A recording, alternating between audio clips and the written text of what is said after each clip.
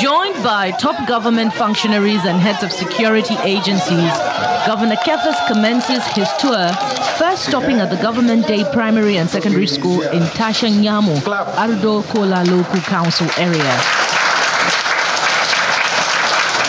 There, he uncovers the absence of teaching staff, a discovery prompting immediate action. The inspection continues to the Mararaba Baissa Abong Road project in Kurmi Local Council, a crucial 82 kilometer federal road linking multiple local government areas.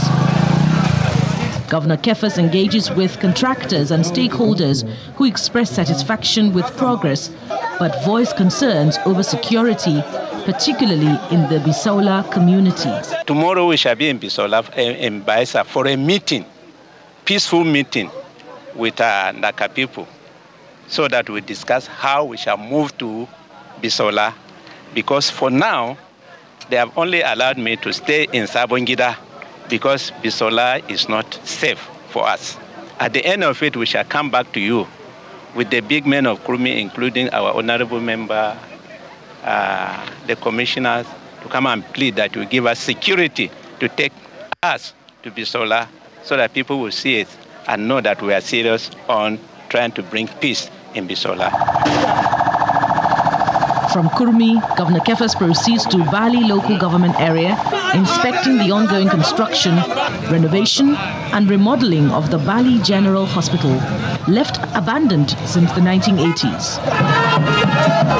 Additionally, the governor oversees the construction progress of the government lodge in Bali local government, ensuring compliance with established standards. Whatever project that my predecessor has embarked on that is in the interest of the people or previous government that is in the interest of the citizen of Taraba State, I have no reason not to ensure that that project uh, is completed.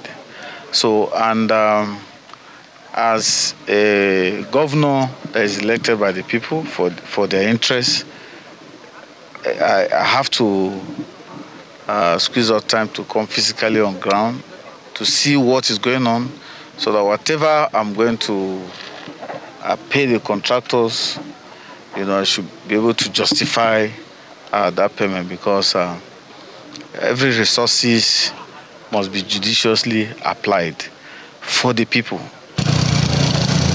The Mararaba Baissa Abong Road, pivotal for regional connectivity, aims to facilitate access to the proposed Mambila hydroelectric power project site and the Republic of Cameroon.